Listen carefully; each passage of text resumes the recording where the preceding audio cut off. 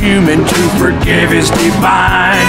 Well, I'm not forgiven and the error ain't mine. They ain't quite human, at least they're not to my eyes. One sip of this and I'll give them the shock of their lives.